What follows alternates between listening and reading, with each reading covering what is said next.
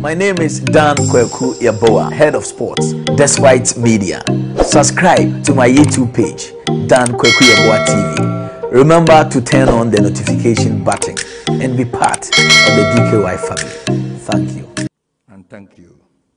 Nedu, Nedu, Chairman of the University Council, acting in the stead of the Chancellor, hereby constitute this assembly as the second session of the 13th congregation of the University of Professional Studies, Accra, for the purpose of receiving the report of the Vice Chancellor on the work of the university over the past year, for the conferment of various degrees and diplomas, and presentation of awards to deserving students in the UPSA Faculty of Information Technology and Communication Studies.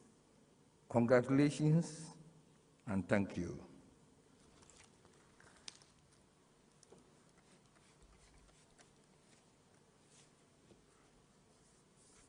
An informative update on UPSA.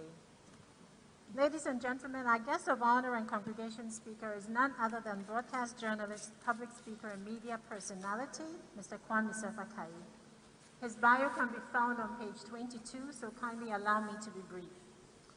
Host of Peace FM's morning show Kokrokoo for more than 20 years, he's also been MC for several high-profile events, including the presidential inauguration of 2017.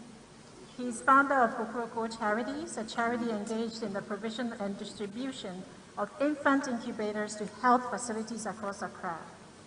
For his excellence and dedication to his career, he has been awarded Journalist of the Year 2016, Member of the Order of the Volta 2008, Torchbearer of the London Olympics 2012, and finally, Radio and Television Personality of the Decade 2010 to 2020.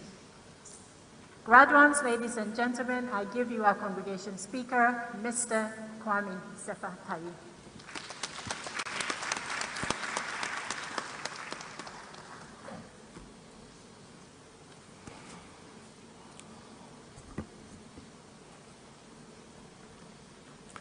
Thank you for the very kind words, Madam Registrar.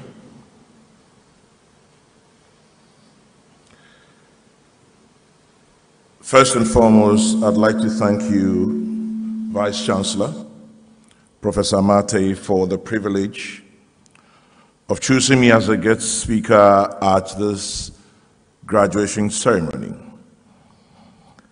I feel very deeply honored to be here this afternoon to share a few thoughts with those of you who have been blessed, fortunate, strong enough to make this day. And so, Chairman of Council, Dr. Kofi Ohene Konadu, after whom this very magnificent building is named, members of the Governing Council, Vice Chancellor Professor Amartey, members of convocation staff, alumni, graduating class of 2021, members of the media, distinguished invited guests, ladies and gentlemen. I was here last week, and before last week, I was here about 20 years ago, not as a student though, as a friend of some friends who were students here. 20 years ago, this place, in its current form, is not what it used to be. 20 years ago, the roads and walkways were dusty, very, and got very muddy during the rainy season. 20 years ago, this institution was called the Institute of Professional Studies. 20 years on, a lot has changed. We have tarred roads, we have paved walkways, We have a variety of buildings springing up all over the place, modernizing and elevating this environment. 20 years later, even the name of this institution has changed. Today, we proudly refer to it as the University of Professional Studies Accra, UPSA for short. It comes with alignment with its new status. Why am I talking about 20 years ago? Dr. Chairman, 20 years ago and today simply means this institution has progressed. It has grown up, it has matured, it is obvious to all of us that change has come, advancement has come. But my dear friends, it did not just happen overnight. It didn't happen simply because somebody wished that it would happen. It happened because the leadership and the staff of earlier years worked hard to lay the foundations that others, including the current Vice Chancellor and the current leadership, have built upon, and that is why we're where we are today. So, Mr. Vice Chancellor and your team, congratulations to you. And also, congratulations to those who came before you for the transformation of this very great institution. I guess I've been talking about 20 years previously. The reason why I've rolled that is because I want to ask those of you graduating today 20 years from today, what will be your story? 20 years from today, what will be the building blocks that you would have developed on? 20 years from today, what will be your dreams? Will they still be dreams? Will they still have been achieved? Or will they still be work in progress? I am asking because you have a degree today but pace yourself and ask yourself that in 20 years from today, if that degree, whether it's a master's, a first degree, or what have you, if it's not been able to elevate you professionally, socially, economically, and even psychologically, then you probably have wasted your time by coming here. My dear graduates, I entreat all of you to begin to look out there into the world, especially for those of you who are going out into the world for the first time. The world is not the kind of world that has open hands and will gladly welcome you. The world out there will not give you a drink, give you a seat, and make things very easy for you. It is going to be a very long and hard road to success, which I'm sure all of you aspire to, beyond what you have today. If I look at my own life and want to primarily share a few lessons with you, I probably will just look at the general areas because there will be so many specifics. We probably will spend the entire day listening to my story. But what I can say is that look out there because some of us did not have the advantages and privileges that those of you who are graduating today had. There was no social media at the time. I remember in the newsroom in Radio Gold, those days in the mid 90s, a computer was probably shared by about 15 journalists or so. And you can imagine there was really not much of what we call an internet or social media today. So information was from the BBC, from West Africa Magazine, from GBC, and those days you sit and it's a dial-up on the internet. I don't know if, Prof, you may remember those days when you go on the net, you dial up, you hear, it takes forever. Today you can work from your phone. And so we have an advantage. Life has progressed. The opportunities out there to you are more and exciting than the opportunities that were out to some of us when we started out. Today, you probably don't even need a desktop. My dear graduates, talking about computers reminds me of the new age in which we are. For a broadcast journalist who started from the early 90s to today, I can tell very easily that the field of journalism has changed. The field of communication has changed. But ask yourselves, what do you use your internet for? What do you use social media for? Is social media a tool for sensationalism for you? Is it a tool for excitement for you? Is it a tool that you're going to do to research, to build yourself, to improve yourself, to acquire more knowledge than what you have today? As they say, the internet never forgets. The internet is good, but it also has its dangerous sides. I entreat all of you today to begin to look or to rethink your relationship with social media, with the internet.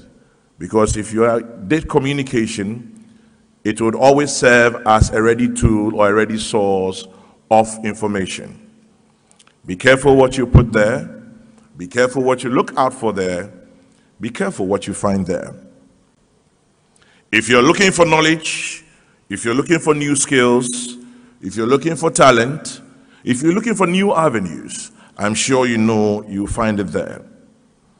But if you're also looking for gossip, sensationalism, and salacious information, I'm sure you'll find it there. As I said earlier, the world will not welcome you with open arms.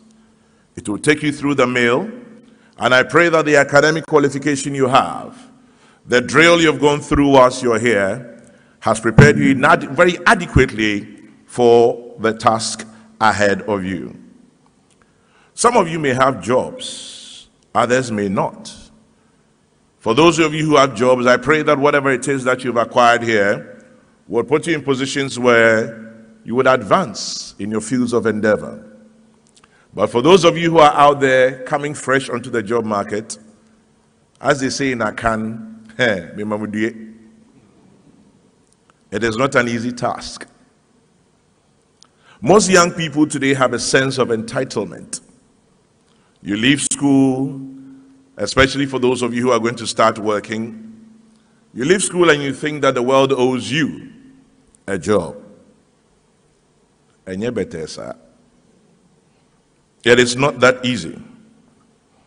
But I wish you well in all of this. Because for those of you who will be lucky enough to find jobs, Ask yourselves, what kind of jobs would it be? For those of us who have a sense of entitlement, are you hoping to walk out of here straight into such a high paying job that if you're offered a startup or if you're offered, you know, from somewhere that is probably below middle level management or even junior management, you would reject it? I still remember what my salary was 25 years ago is the equivalent of 20 cedis today. At the time, it wasn't much. It still is not much. But we began from somewhere. So do not despise small beginnings. Challenge yourself. Accept whatever situation you find yourself in, but don't accept to remain there. Improve upon it, move beyond it, and whilst you're at it, remember Things don't happen overnight. Today, I've been privileged enough to share my thoughts with you as a commencement speaker at this graduation ceremony. I'm sure 20 years ago, 25 years ago, nobody will look at me twice. For those of us who think that it happens overnight, let me just tell you, it is only in the dictionary where there's success before work, as in S before W. In real life, it is always the other way around. I am sure those of you who have gone through the mill to graduate today would know that better. My dear graduates, as you step out there into the real world, also limit your expectations. When I set out, all I wanted was a job. I didn't care how much it would pay me. I wanted to get out of home. I was almost 25 years old. All I wanted was a job. Yes, I got it. I had expectations, I had dreams, I had aspirations, but I did not feel that whatever it is that I got to be doing at the time was below me. Worked hard, worked hard, worked hard, improved myself, and today the story is totally different. There's one thing also for those of you who have faith, I'll share with you. Whatever it is that you believe in God, Mawu, Allah, Nyankopon, Tigare, whatever.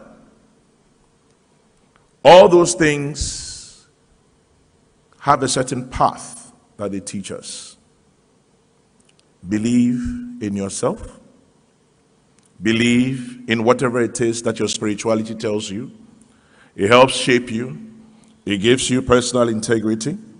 And as I said, ask yourself a few questions.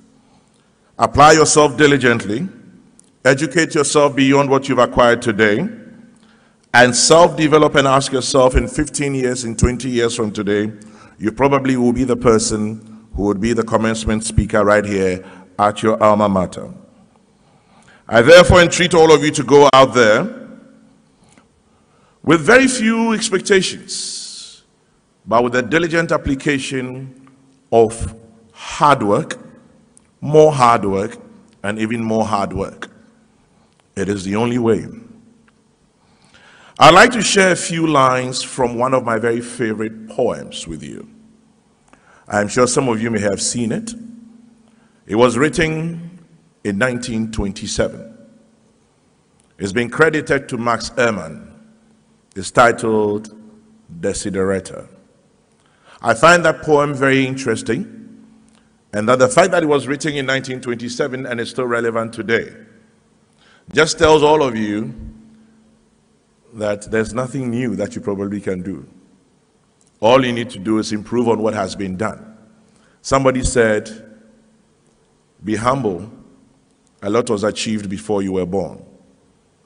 Whatever it is that you find, please just improve on it. A few lines from the Desideratum, as I mentioned earlier, written in 1927 by Max Ehrmann. It says there may be silence. No matter their background, well, in the first eight lines of the Desideratum, he urges everyone that no matter your background, race, gender, or future, quote, go placidly amid the noise and haste. That reminds us of what peace there may be in silence. It says, as far as possible without surrender, be on good terms with all persons. Speak your truth quietly and clearly. Listen to others because even to the dull and the ignorant, they too have their story. Unquote. Do not be in a hurry to judge people, because even the dull and the ignorant also have their story. Some of you will be thrust into positions of management, managing people and all of that. Let some of these things serve as a constant reminder to you. As you step out here, if you find time, Google or just download that uh, poem, The Desiderata read it, it would give you some deep insights. Because the same poem says, avoid loud and aggressive persons. If I may repeat, avoid loud and aggressive persons because they are vexation to the spirit. Be careful of the friends you make. Be careful of the company you keep. Not everybody means well. And that I can tell you for a fact. Think on these words as you go along. Part of the Desiderata also says, exercise caution in your business affairs, for the world is full of trickery. But let not this bind you to what virtue there is. Many persons strive for high ideals, and everywhere life is full of heroism. So be positive about life. Do not depress yourself. Be excited, be enthused about the world out there that you're going into. The very last line of the Desiderata says, strive to be happy. My dear friends, in spite of the difficulties that life may throw at you, in spite of the down moments, strive to be happy in whatever that you do. Get up, dust up, show up, and participate in whatever that it is that you have set out to do. Life itself is an evolution, and I'm sure as you go along, you would find out from the people you meet, from the friends you make, from the moment you walk out of these doors, from the challenges, from the aspirations, and also from how you would achieve. Remember also to acquire more knowledge. And as I mentioned earlier, life owes you nothing. What life owes you is what you invest in it. If you invest laziness, you reap laziness. If you invest hard work, I promise you, you'd reap results. So please, don't go into this world with a sense of entitlement. Go out there and strive to be happy with the tenacity of purpose, as we say. Hang in there when things are tough. I have had my tough times too. Today I look back and there are building blocks that I built upon. The good times will come, the bad times will come, the very hard times will come. But in all of it, chin up, acquire experience, don't be upset to start from the bottom. Push yourself, expand on the education you have, develop your skills, hone your talent, and as you go out there into the real world, understand that not everyone will understand your journey. Don't expect acceptance from everybody, but that is okay. You're here to live your life, not to try to make everyone understand you. So, in spite of it all, believe in yourself, work hard, the future will look good. A friend of mine remarked that he looks at his future and even at night he thinks he needs sunglasses because he believes it's bright. That is the kind of positive attitude I would leave with you. So go out there, my friends, learn your lessons. Let those lessons be building blocks for you as you graduate today. And what I can also tell you is that I've told you earlier, long and hard road, but you too can do it. It's not magic, it's not rocket science, it is hard work, it's determination, it is staying focused and staying true to your beliefs. Go out there and conquer. Remember also, after rain, there's a rainbow. After a storm, there's calm. After the night, there's morning. And after an ending like today, there's a beginning. Chairman of Council, Vice Chancellor, distinguished invited guests, ladies and gentlemen, this privilege of addressing you all here gathered is also for me a moment of reflection that you found it worthy enough to have me come and join you. I am happy that I've been able to share some insights with you. I hope that these few words will prick your conscience as you step out into the real world. I pray that you'll find nuggets of wisdom in the few words I have shared with you today. I congratulate all of you once again for going through this process. I wish you the very best that life has out there for you. May the good Lord guide, guard, and direct your path. May it be well with all of you. I greet you well. Thank you very much.